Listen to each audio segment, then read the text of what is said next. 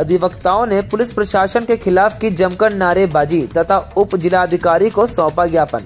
उत्तर प्रदेश के जनपद एटा के अधिवक्ता राजेंद्र शर्मा के साथ पुलिस द्वारा की गई अभद्रता से रोष में आए प्रदेश भर के अधिवक्ताओं ने अलग अलग तहसीलों में पुलिस प्रशासन के खिलाफ नारेबाजी की।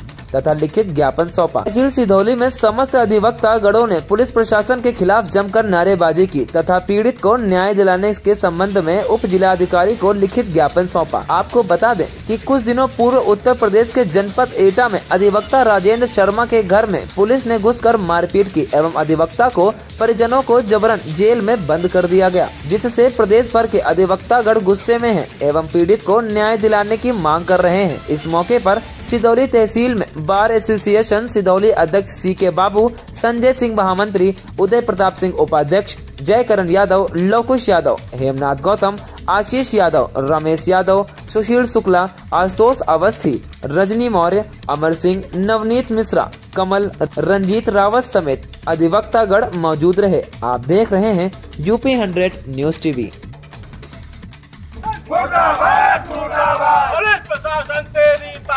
नहीं चलेगी नहीं चलेगी। पुलिस प्रशासन। मुर्दाबाद। पुलिस प्रशासन। मुर्दाबाद। मुर्दाबाद एक मिनट। जिंदाबाद जिंदाबाद। जिंदाबाद जिंदाबाद।